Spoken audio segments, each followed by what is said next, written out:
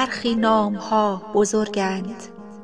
آنقدر بزرگ که وقتی به آن فکر می کنی کتابی قطور در ذهنت جای می گیرد مانند مردی با یاد و خاطره نیک همانی که گذشت سالها اعتبار و نیک نشانیش را کمرنگ نکرده است.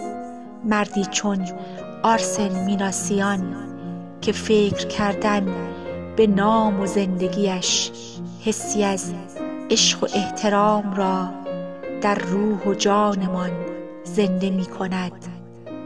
مردی که در عبور روزها و سالهای پرشتاب دگرگونیهای زمانه و رنج مردمان چون روزنی امیدبخش اتفاق افتاد.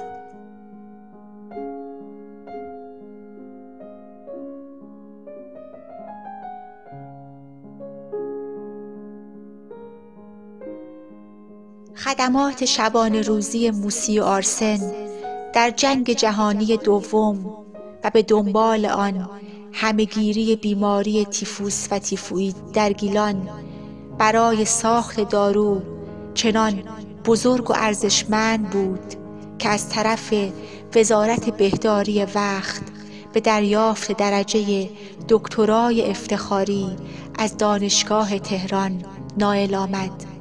او به پاس خدمات انسان دوستانش چون تأسیس اولین داروخانه شبانه روزی و آسایشگاه معلولین و سالمندان ایران در رشت. چنان در دل مردمان این دیار جای گرفت که همواره نام و یاد نیکش در حافظه تاریخی این شهر خوش نشسته است. مردی که عشق و یاری به هم نو را دلیلی برای نو شدن در زندگی می دانست مردی که تمام عمرش برای دیگران نقشی چون بهار داشت.